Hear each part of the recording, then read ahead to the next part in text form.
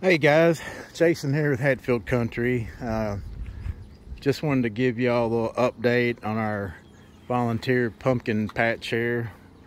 As you can see, the hay bale pumpkin plant did not make it. That was my fault. I did not stay on top of the squash bugs and they will kill your pumpkin plants as you can see. So I treated these, which I'm having to do every few days. This patch here is doing good. I think we've got a pumpkin down here. I'm not sure what these are because they are volunteers, but you see there's a pretty good sized pumpkin growing there. And there's some more in there you can't see. So I come out here earlier and notice this plant down here, which is one of the better looking ones. It's got, or it had squash bugs down in there so I come out and treat it with spinosad. Same stuff I spray on about everything else. Takes care of the potato beetles. But I wanted to get ahead of them on this plant because I hate to lose it. It's already got pumpkins on it.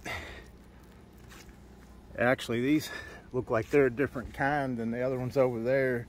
But I'm going to show y'all what to look for if you're growing pumpkins.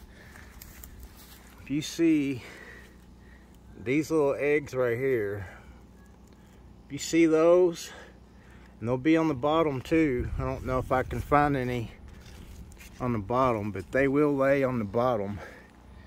They'll lay those eggs and they'll hatch and they will devour your pumpkin plants and of course squash plants too. But kind of aggravated that I lost the one in the hay bale because it it was looking really good. I'm gonna see if I can find some of these eggs on the other underside. Like see right here,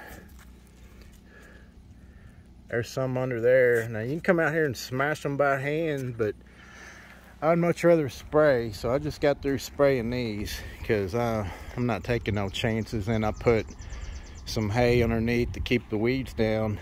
But again, if you're trying to grow pumpkins, or at least in our area, better spray for squash bugs. And here's what these nasty suckers look like right here crawling around. But they lay hundreds of eggs.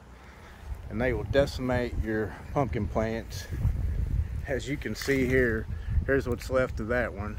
Pretty disgusted about it because it was looking really strong. It was growing in nothing more than a hay bale wasn't even in the ground. But anyway just wanted to give y'all an update on the volunteer pumpkins.